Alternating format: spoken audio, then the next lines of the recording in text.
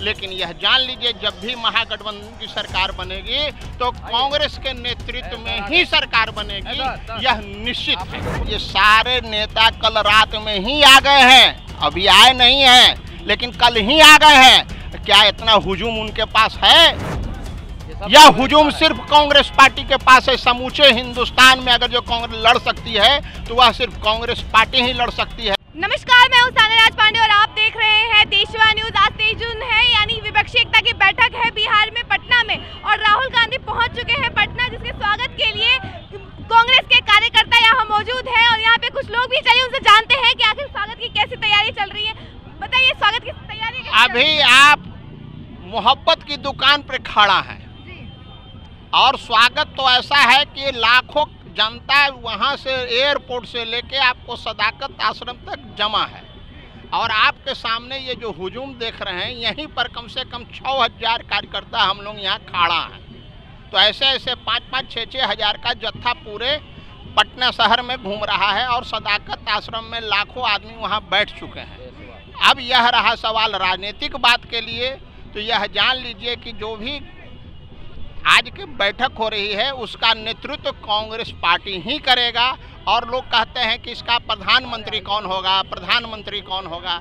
हम लोग को कांग्रेस को प्रधानमंत्री से मतलब नहीं है। अगर जो राहुल गांधी को प्रधानमंत्री बनना रहता तो वो यूपीए वन में भी बन सकते थे। यूपी टू में तो मनमोहन सिंह ने कहा कि अब आप बन जाइए। तो आज जो है नरेंद्र मोदी या भाजपा वाले जो कह रहे हैं कि कौन होगा चेहरा कौन होगा चेहरा कौन होगा चेहरा?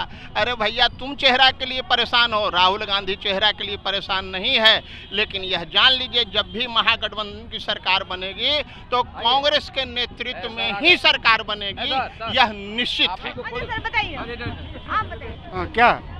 कैसी तैयारी चल रही है राहुल? देख रहे हैं तैयारी तो आपके सामने है। बताने की ज़रूरत है पूरा पटना पटा हुआ है कांग्रेस के इससे पूरा लोग जुटा हुआ है और ये दिखाता है कि कांग्रेस का लोगों के प्रति या लोगों का कांग्रेस के प्रति बहुत विश्वास बढ़ा है और इसमें राहुल जी का भारत जोड़ो यात्रा से लेकर सब चीज़ का फैक्टर एक साथ है। और आप जो देखने की चीज़ आप लोग तो खुद कवर कर रही हैं पूरा पटना को। लग भी रहा होगा, पूरा पटना पटा हुआ है पोस्टर से बैनर से। पोस्टर्स में भी ये भी दिख रहा है कि अरविंद केजरीवाल का भी पोस्टर लगा है कि वो प्रधानमंत्री भाई महागठबंधन में जब इतने नेता प्रधानमंत्री की रेस में चलेंगे तो यही तो बात है, उनके पास एक है, हमारे पास हज़ारों हैं। एक चीज़ इस पर मैं यह कहना चाह रहा हूँ, आपने एक सवाल किया कि केजरीवाल या फलना बाबू, ममता जी आए आप यह देख लीजिए, सारे नेता कल रात में ही आ गए हैं, अभी आए नहीं हैं, लेकिन कल ही आ गए हैं। क्या इतना हुजूम उनके पास है?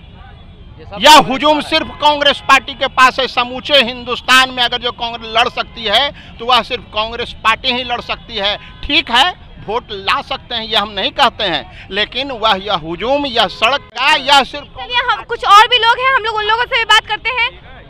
आप बताइए कैसे तैयारी चल रही है? राहुल गांधी यहाँ पे आ गए अच्छा ही चल रही है देख ही देख ही रहे आप लोग।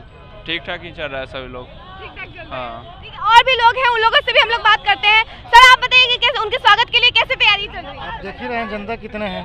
जी। बहुत बढ़िया तैयारी है। तो आप लोग उन्हीं के स्वागत के लिए यहाँ पे हैं? बिल्कुल बिल्कुल जी। तो ये हुजूम निकल निकलने वाला है। एकदम अभी तुरंत निकलेगा जैसे ही आएँगे वैसे ही जुम निकलेगा। यहाँ से देख लीजिए आप पीछे तक लाइन है। आप देख सकते हैं कि राहुल गांधी के स्वागत के लिए यहाँ पूरी कितनी बड़ी लाइन लगी है। हुजूम निकला हुआ है देख सकते हैं आप। आप लोग देख सकते हैं कि पुलिस की गाड़ियाँ निकल रही है और ये राहुल गांधी की गाड़ी भी आ चुकी है और यहाँ से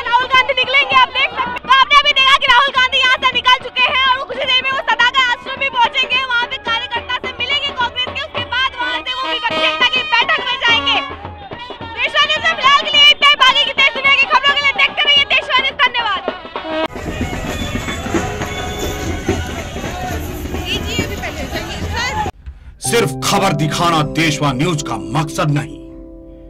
देशवा न्यूज़ की कोशिश है कि समाज की सूरत बदलनी चाहिए। देशवा न्यूज़ पर वीडियो देखने के लिए लाइक करें, सब्सक्राइब करें। साथ ही बेल आइकन दबाना न भूलें।